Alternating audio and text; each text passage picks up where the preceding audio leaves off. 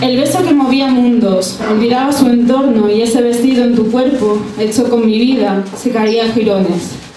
Ensayé dramas, pero regresaste, pero no regresaste. Mis ojos, mis ojos ya no duermen, viendo un pasado, oliendo este presente. Ese no tan ajeno, tan lejano, en el que no, no habrá raíces ni sin semillas, y aún así era un amor tan puro que no sobrevivió entre tanta miseria.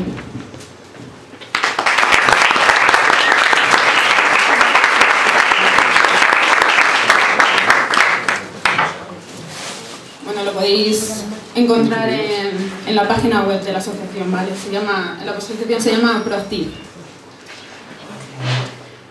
Y mm, lo segundo que os traigo es una de las, un micro relato de los míos, se llama Realidades.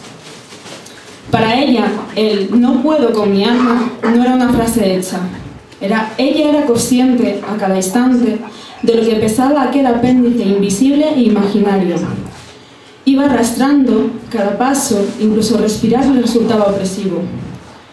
Como sabía que era su alma la que le castraba, decidió deshacerse de ella. Empezó a idear planes para, conseguir para conseguirlo sin acabar con su propia existencia. Procedimientos rocambolestos que acabaron persuadiendo a su familia de que debían llevarla al psicólogo. Este, práctico y, y pragmático, amante de su propia fe, le aseguró, tras escuchar brevemente su caso, que lo que le pesaba era el cuerpo y que debía aprender a convivir con él.